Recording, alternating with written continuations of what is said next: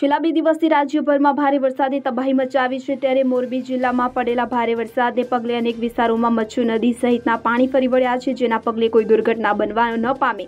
તે માટે સાવધાનીના પગલાં લેવા જિલ્લા કલેક્ટર કેબી ઝવેરીના માર્ગદર્શન હેઠળ વહીવટીતંત્ર દ્વારા અનેક માર્ગ પર વાહન વ્યવહાર માટે બંધ કરવામાં આવે છે. ત્યારે સામખિયાળીથી માળિયા સુધી નેશનલ હાઈવે પર વાહન વ્યવહાર બંધ કરવામાં આવ્યો છે. ઉપરાંત અનેક નીચાણવાળા વિસ્તારોમાંથી અસરગ્રસ્ત લોકોને સ્થળાંતર કરી સલામત સ્થળે ખસેડવામાં આવી રહ્યા છે. જિલ્લા કલેક્ટરના જણાવ્યા અનુસાર ગઈકાલ રાતની પરિસ્થિતિ જોતા મચ્છુ બે ડેમમાંથી છોડવામાં આવી રહેલા પાણીના કારણે મચ્છુ નદીમાં પાણી આવી રહ્યું છે અને માળિયા સુધી પહોંચી રહ્યું છે.